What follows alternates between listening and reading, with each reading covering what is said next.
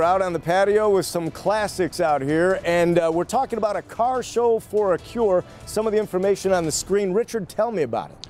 Uh, we're doing our eighth annual Cruising for a Cure. It'll be this weekend, uh, September 22nd, Roswell Park on the campus.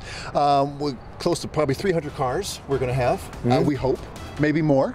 Uh, but the uh, the entire reason for the car show is it's a, uh, a, early detection clinic that we're having, or prostate cancer early detection clinic. Yep. The information will pop that back up yep. on the screen, and this is important because you can come out, you can check out cars, bikes, trucks, exactly, and in in as little as five or ten minutes, you can have a, a checkup. You can have a checkup and and find out. Um, find out what's going on with you. That's fantastic. Uh, that's why we do the show. It's eight years in the in the in the making.